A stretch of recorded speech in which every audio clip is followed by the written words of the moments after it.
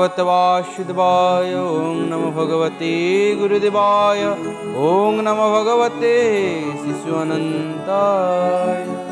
गुरुब्रह्मा, गुरुविष्णु, गुरुदेव महेश्वर, गुरुसाक्षात् परं ब्रह्म। तस्मै श्रीगुरवे नमः। कृष्णाय वासुदेवाय। देवकीनन्दनाय च नन्दगोपकुमाराय गोविन्दाय नमो नमः। हे कृष्ण करुणा सिन्धु दीनबन्धु जगत्पते गोपेश गोपिका कान्त राधाकान्त नमोऽस्तु ते तप्तकाञ्चन गौराङ्गी राधे वृन्दावनेश्वरी वृषभानुसुते देवी प्रणमामि हरि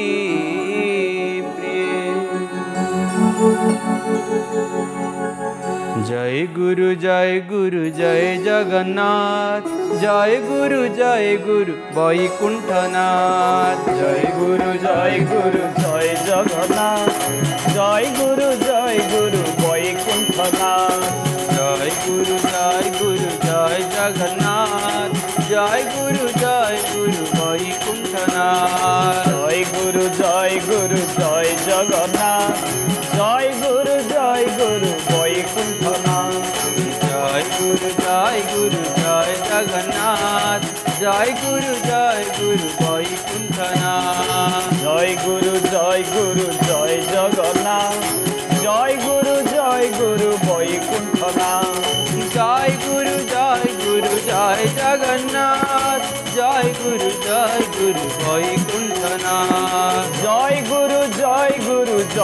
জগন্নাথ জয় গুরু জয় গুরু বৈকুণ্ঠনাথ জয় গুরু জয় গুরু জয় জগন্নাথ জয় গুরু জয় গুরু বৈকুণ্ঠনাথ জয় গুরু জয় গুরু জয় জগন্নাথ জয় গুরু জয় গুরু বৈকুণ্ঠনাথ জয় গুরু জয় গুরু জয় জগন্নাথ জয়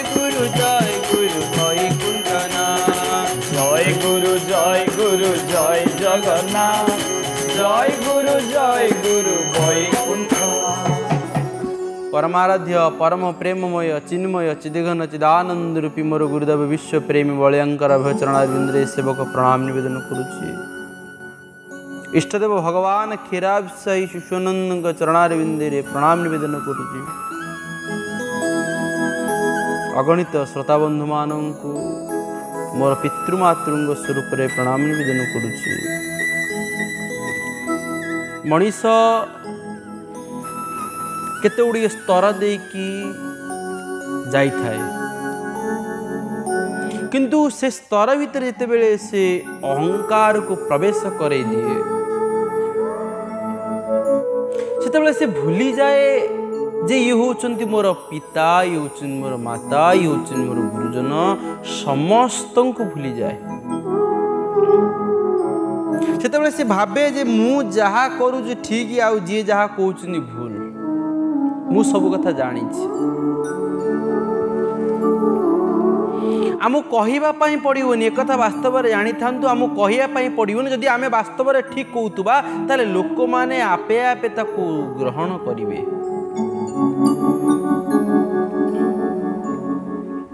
ରାଜା ପରୀକ୍ଷିତ ପଚାରୁଛନ୍ତି ଯେ ହେ ସୁଖଦେବ ହେ ଗୁରୁଦେବ ମୁଁ ଆପଣଙ୍କୁ ପାଇଯାଇଛି ଆପଣଙ୍କୁ ପାଇପାରିଲି କିଭଳି? ମୁଁ ଏଇଟା ଭାବୁଛି। ନା ତୁମ ଭିତରେ ଯେତେବେଳେ ସମର୍ପଣ ଭାବ ଆସିଲା ତୁମେ ରାଜସିଂହାସନ ଠାରୁ ମଧ୍ୟ ବହୁତ ଉର୍ଦ୍ଧ୍ୱକୁ ଗଲ। ସିଂହାସନରେ କେହି ନା କେହି ବସିପାରନ୍ତି। କିନ୍ତୁ ସିଂହାସନ ଠାରୁ ବହୁତ ଉର୍ଦ୍ଧ୍ୱରେ କେମିତି ବସିପାରିବ ଜଣେ?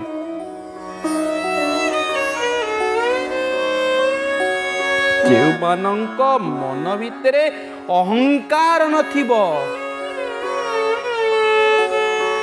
ସେଇ ଅହଙ୍କାର ନଥିଲା କାହା ପାଖରେ? ରାଜା ପରୀକ୍ଷିତଙ୍କ ପାଖରେ ନଥିଲା।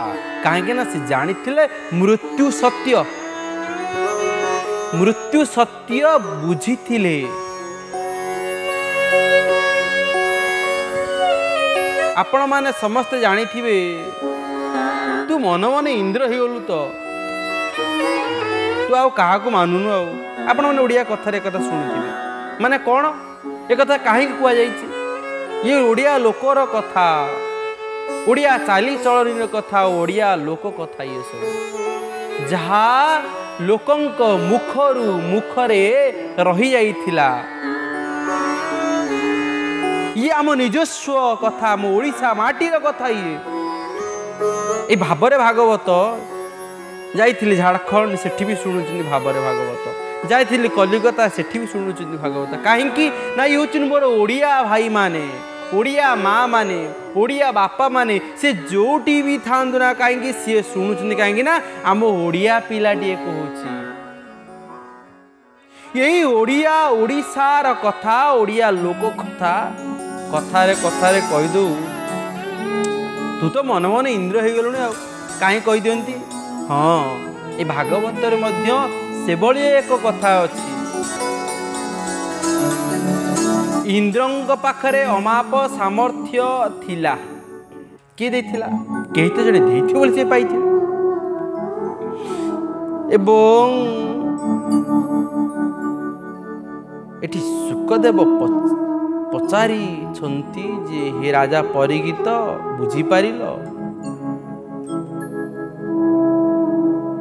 ନା ମୁଁ କିଛି ବୁଝିପାରିଲିନି। ଏତେ ବଡ଼ ଅପରାଧ ଇନ୍ଦ୍ର କାହିଁକି କଲେ? ଐଶ୍ୱର୍ଯ୍ୟରେ ଯେତେବେଳେ ମଣିଷ ବୁଡ଼ିଯାଏ ଐଶ୍ୱର୍ଯ୍ୟକୁ ଯେତେବେଳେ ସେ ସର୍ବସ୍ୱ ବୋଲି ମନେ କରେ ସେତେବେଳେ ଐଶ୍ୱର୍ଯ୍ୟର ମୂଲ୍ୟକୁ ନ ବୁଝିପାରି ଧନର ମୂଲ୍ୟକୁ ନ ବୁଝିପାରି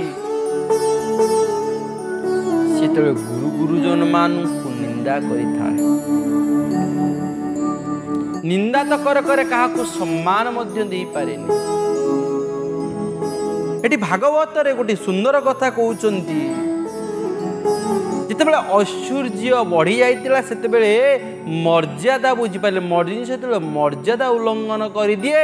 ଦେବରାଜ ଇନ୍ଦ୍ର ମଧ୍ୟ ଯେତେବେଳେ ତାଙ୍କ ପାଖରେ ଇନ୍ଦ୍ରଙ୍କ ପାଖରେ ଏ ଅଣଚାଶ ମରୁତ ଅଷ୍ଟବସୁ ଏକାଦଶ ରୁଦ୍ର ଆଦିତ୍ୟ ରୁଭୁଗଣ ବିଶ୍ୱେଶ୍ୱର ଦେବଗଣ ଇଏ ସମସ୍ତେ ପହଞ୍ଚି ଯାଇଛନ୍ତି।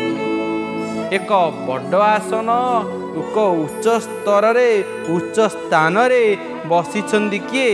ନା ସଚିଙ୍କ ସହିତ ଇନ୍ଦ୍ର ବସି ଏରେ ବଡ଼ ଆସନ ମିଳିଛି ବଡ଼ ଆସନ ବସିବା ପାଇଁ କିଏ ମନେ କରୁଛି? ପ୍ରତିଟି ପିତା ମାତା ଗୁରୁମାନେ ଚାହାନ୍ତି ଯେ ଆମ ପିଲାଟି ବସିଯାଉ ଟିକେ ଉଚ୍ଚ ଆସନରେ। ହେଲେ ସେ ଉଚ୍ଚ ଆସନକୁ ଯଦି ବସିବା ପାଇଁ ନ ଦିଆଯାଏ ସୁଯୋଗ ନ ଦିଆଯାଏ ତାହେଲେ କିଭଳି ହବ? ଆପଣ ଚିନ୍ତା କରନ୍ତୁ। ଉଚ୍ଚ ଆସନରେ ବସିବାର ସୁଯୋଗ ଦିଆଗଲା। ଉଚ୍ଚ ଆସନରେ ଆଜି ବସି ଯାଇଛନ୍ତି। ଉଚ୍ଚ ଆସନରେ ଆଜି ଅଧିକାରୀ ହେଇଯାଇଛନ୍ତି କିନ୍ତୁ ଯେତେବେଳେ ଗୁରୁ ବୃହସ୍ପତି ସେଠି ଆସିଛନ୍ତି ସେ ରାଜସଭା ଭିତରୁ ଇନ୍ଦ୍ରଙ୍କ ସଭାକୁ ବୃହସ୍ପତି ଆସିଛନ୍ତି। ଗୁରୁ ଗୁରୁଜନ ଆସିଲେ ଛିଡ଼ା ହୁଅନ୍ତି ଗୁରୁ ଆସିଲେ ଛିଡ଼ା ହୁଅନ୍ତି ପ୍ରଣାମ କରନ୍ତି କିନ୍ତୁ ଇନ୍ଦ୍ର ଏତେ ଅହଙ୍କାରୀ ହେଇଯାଇଥିଲେ ଯେ ସିଏ ଆଉ ବୃହସ୍ପତିଙ୍କୁ ଦେଖିଲା ପରେ ମଧ୍ୟ ଛିଡ଼ା ହେଲେ ନାହିଁ। କି ସମ୍ମାନ ଦେଇକି କହିଲେ ନାହିଁ ଆସନ ଗ୍ରହଣ କର ବୋଲି। ବୃହସ୍ପତି ବୁଝିପାରିଲେ ଇଏ ହେଉଛି ସେଇ ଅହଙ୍କାର ଯେଉଁ ଅହଙ୍କାର ମଣିଷକୁ ତଳକୁ ଟାଣି ଆଣେ। ଟିକେ ନୀରବ ରହିଗଲେ। ଚାହିଁଥାନ୍ତି ରାଜାଙ୍କୁ ବୃହସ୍ପତି ଚାହିଁଥାନ୍ତି ଇନ୍ଦ୍ର ରାଜାଙ୍କୁ ରାଜ ଇନ୍ଦ୍ର ଦେବରାଜ ଇନ୍ଦ୍ରକୁ ଚାହିଁଥାନ୍ତି ଦେବରାଜ ଇନ୍ଦ୍ରଙ୍କ ପାଖରେ ଟିକିଏ ମଧ୍ୟ ମର୍ଯ୍ୟାଦା ନଥିଲା ଗୁରୁଙ୍କୁ କେମିତି ବସିବେ ସେ ମର୍ଯ୍ୟାଦାକୁ ସେ ଉଲ୍ଲଙ୍ଘନ କରିଯାଇଥିଲେ ଏ ସଂସାରରେ ମଧ୍ୟ ଏଭଳି ଅନେକ ଘଟଣା ଘଟିଛି ଜଣେ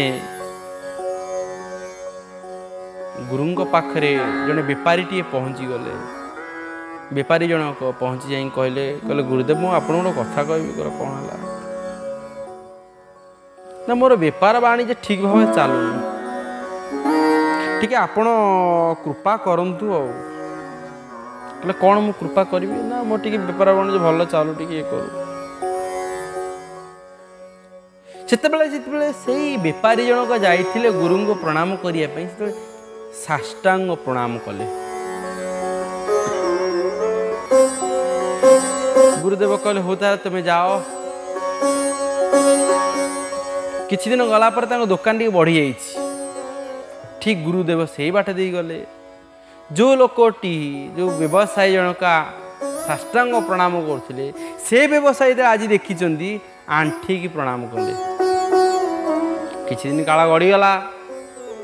ବେପାରୀ ଜଣଙ୍କର ବେପାର ବଢ଼ିଲା ଧନ ମଧ୍ୟ ବଢ଼ିଲା। ସେଇ ବାଟ ଦେଇକି ସେଇ ଗୁରୁ ଗଲେ। ଆଉ ଆଣ୍ଠେଇକି ମୁଣ୍ଡିଆ ମାରିଲେନି। ଛିଡ଼ା ହେଇକି ଟିକେ ନଇଁଗଲେ ପ୍ରଣାମ ଆଜ୍ଞା।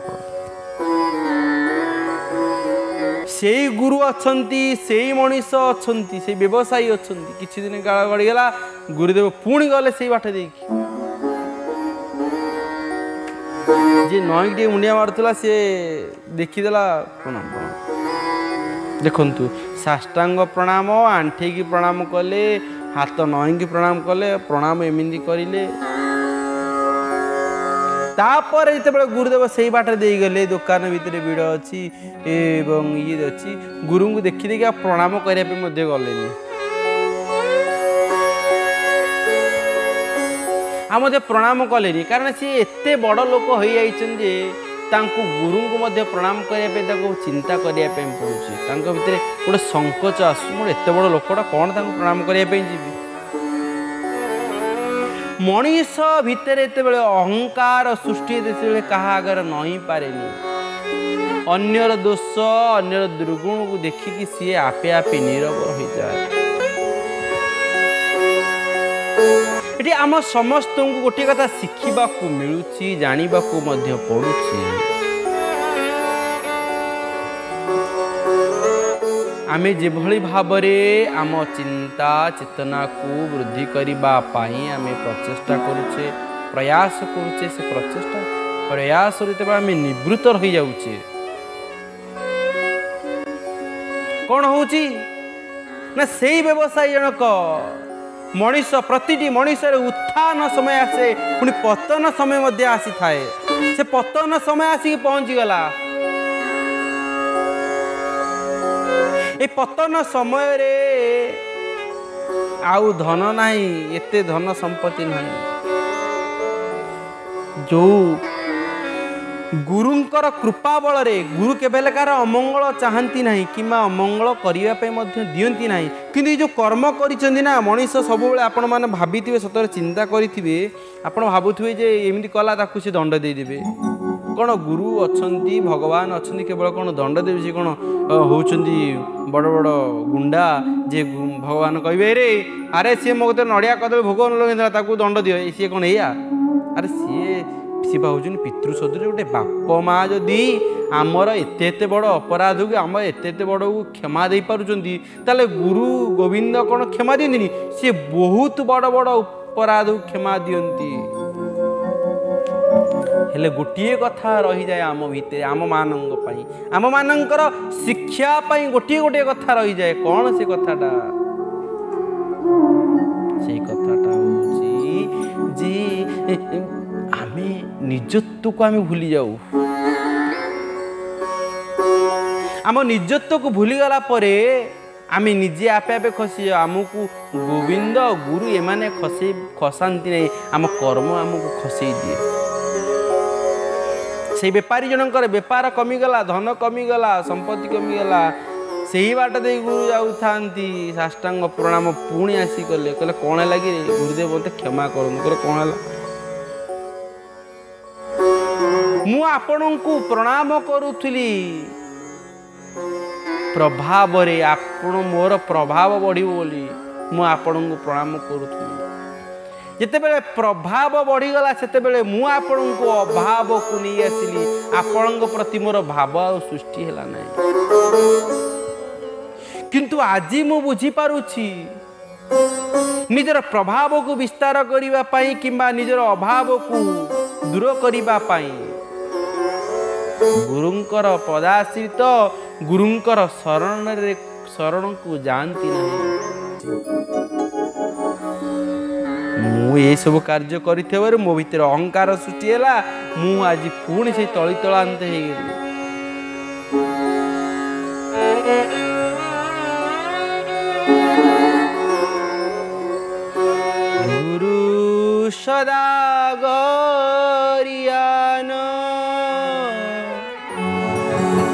शिष्य के नुहेना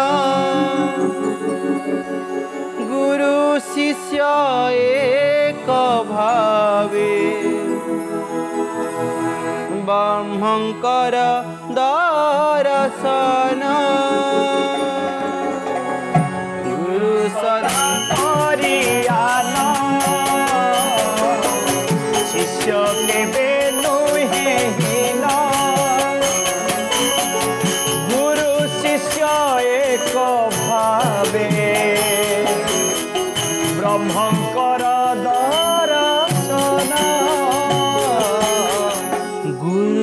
सदा गौरी आनो। शिष्य के विष्णु हे गुरु सदा गौरी आनो। शिष्य के बेनु हीन। अरे आम सीना शिष्य होते आम सीना हीन हवा नहीं। आमको शिष्य होगा पड़ ଆପଣମାନେ ଜାଣିଥିବେ ଗୋଟିଏ ବର ଗଛଟିଏ ବଡ଼ ବଡ଼ ଗଛଟିଏ ସିଏ ପୁରା ମାନେ ସବୁ ଖରା ସବୁ ବର୍ଷାକୁ ପୁରା ସଦାସଳଖ ରହିଥାଏ ଆପଣ ନିର୍ମୂଳି ଲଟା ଦେଖିଥିବେ ଯେଉଁ ନିର୍ମୂଳି ଲଟା ମାତିବା ଦ୍ୱାରା ଗଛକୁ ମଧ୍ୟ ମାରିଦିଏ ଆଉ ଗୋଟେ ବିଶ୍ୱ ବେଲୁଅ ପତ୍ର ବିଶ୍ୱ ବେଲୁଅ ଗୋଟେ ଅଛି ବିଶ୍ୱ ବେଲୁଅ କ'ଣ ଲଟା ଟାଇପ୍ର ଥାଏ ଗୋଟେ। ସିଏ ଲଟା ଯେତେବେଳେ ମାଡ଼ିବ ଆମେ କହିବା ହଁ ଟିକେ ତ ଲାଗିଛି ଆଉ। ଛୋଟିଆ ଗଛ କିନ୍ତୁ ଏମିତି ବିସ୍ତାର ହେଇଥିବ ଧୀରେ ଧୀରେ ଧୀରେ ଧୀରେ ସେ ଗଛକୁ ମଧ୍ୟ ମାରିବାକୁ ପଛାଏନି। ଆମ ଭିତରେ ଅହଙ୍କାର ହେଉଛି ସେଇଭଳି ଆମକୁ ଧୀରେ ଧୀରେ ଧୀରେ ଧୀରେ ଧୀରେ ଧୀରେ ଏଭଳି ମାରିଦେବ ଆମେ ନିଜେ ମଧ୍ୟ ନିଜକୁ ଜାଣିପାରିବା ନାହିଁ। ବୃହସ୍ପତି ଗୁରୁ ବୃହସ୍ପତିଙ୍କୁ ଦେବରାଜ ଇନ୍ଦ୍ର ମାନି ନାହାନ୍ତି କାହିଁକି? ନା ଅହଙ୍କାର ପାଇଁ ଆଉ ଏଇ ଅହଙ୍କାର ହିଁ ଯୁଦ୍ଧ କରୁଛି। ଏହି ଅହଙ୍କାର ହିଁ ଆମ ସମସ୍ତଙ୍କ ଭିତରେ ରହିଛି। କିନ୍ତୁ ସେଇ ଅହଙ୍କାରକୁ ଆମେ କିଏ ପ୍ରକାଶିତ କରୁଛି କିଏ ପ୍ରକାଶିତ କରିପାରୁନି। ଯିଏ ପ୍ରକାଶିତ କରିପାରୁନାହାନ୍ତି ତାହା ହିଁ ହେଉଛି ବାସ୍ତବରେ ଗୁରୁ କୃପା ଅହଙ୍କାରଂ ବଳಂ ଦର୍ପಂ କାମ କ୍ରୋଧ। ଅହଙ୍କାର ପରିତ୍ୟାଗ କର କ୍ରୋଧକୁ ପରିତ୍ୟାଗ କର ବୋଲି ବାରମ୍ବାର ଭଗବାନ କୃଷ୍ଣ କହୁଛନ୍ତି। ଯଦି କ୍ରୋଧ ଉପରେ ନିୟନ୍ତ୍ରଣ ଆସିନି ତାହେଲେ ନିଜେ ଜୀବନର ମଧ୍ୟ ଆନନ୍ଦର ମଧ୍ୟ ନିୟନ୍ତ୍ରଣକୁ ଆପଣମାନେ ନିଜେ ମଧ୍ୟ ଆନନ୍ଦ ମଧ୍ୟ ପାଇପାରିବେ ନା। ଭାଗବତ କହୁଛନ୍ତି ଏ କଥା କହ ମୁନିବର যেবে করুণা মতে কর গোবিন্দ গোবিন্দ গোবিন্দ পদু গড়ুছি মকর সিদ্ধ গন্ধর্ব চারণ ব্রহ্মবার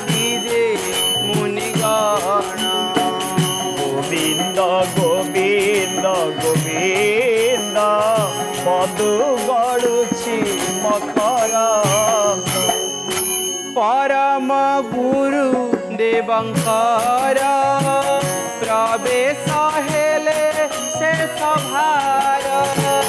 গোবিন্দ গোবিন্দ গোবিন্দ, মধু গড়ুছি মকর। বাচস্পতি মুনিবর, পণ্ডিত সুরাসুরঙ্কর।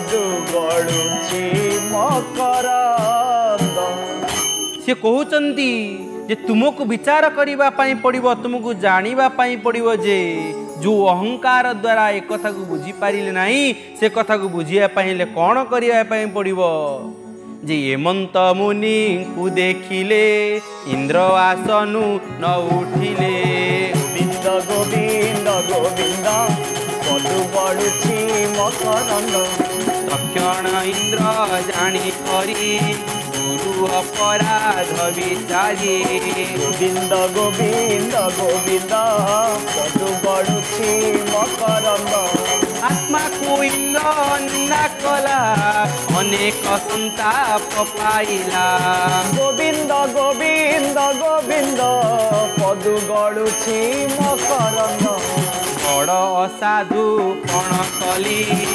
সমৃদ্ধি পাই রে গোবিন্দ গোবিন্দ গোবিন্দ মধুগড়ুচি মকরন্দ। অজ্ঞান সূর্য মদরে গুরু নিন্দিলি মুসভারে। গোবিন্দ গোবিন্দ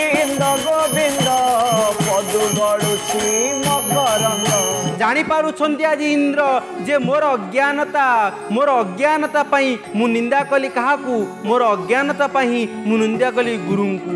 ଏଇ ଆମ ଜୀବନ ଭିତରେ ଆମେ ସେତେବେଳେ ଆମ ପରିବାରରେ ପିତା ମାତାଙ୍କୁ ଅଜ୍ଞାନତାର ସହିତ ନିନ୍ଦା କରୁ ତାଙ୍କୁ ଆମେ ଅବହେଳା କରୁ। ଯଦି ଆମେ ତାଙ୍କୁ ଅବହେଳା କରିବା ଯଦି ଆମ ଭିତରେ ଅନୁତାପ ନାହିଁ ତେବେ ବୁଝି ନେବା ଯେ ଇଏ ଆମ ଭିତରେ ଯଦି ଅନୁତାପ ନାହିଁ ଭୁଲ କରିଲା ପରେ ତାହେଲେ ବୁଝିପାରିବ ଇଏ ଆମ ପାଇଁ ଆହୁରି ବଡ଼ ଅପରାଧ ହେଉଛି। ଜୀବନକୁ ପରିବର୍ତ୍ତନ କରିବା ପାଇଁ ହେଲେ ଆମ ପ୍ରତିଟି କର୍ମକୁ ରାତିରେ ଶୋଇବା ପୂର୍ବରୁ ଆତ୍ମସମୀକ୍ଷା କରିବା। ମୁଁ ଦିନକରେ କଲି କେତେ ପାଇଲି କେତେଲେ କାଠାରୁ କେତେ ପାଇଥିଲି କାଠାରୁ କେତେ ହରେଇଛି। ଇଏ ସବୁ କିଛିକୁ ଆମେ ରାତିରେ ଶୋଇବା ପୂର୍ବରୁ ଆତ୍ମସମୀକ୍ଷା କରିବା। ତେବେ ଯାଇକି ଜୀବନ ସୁଧୁରିବ। আম পরিবার সুধুরব এবং আম সংসার সুধুরব এবং আমি আনন্দের কইবা ভজ মন ভজ মন ভজ মন ভজ মন ভজ মন ভজু ভাগবত কথা তুমি গাই মুন্ডে বলি ঘর তার ব্যথা শুনে গাই মুন্ডে বড়ি ঘর তার ভজ মন ভজ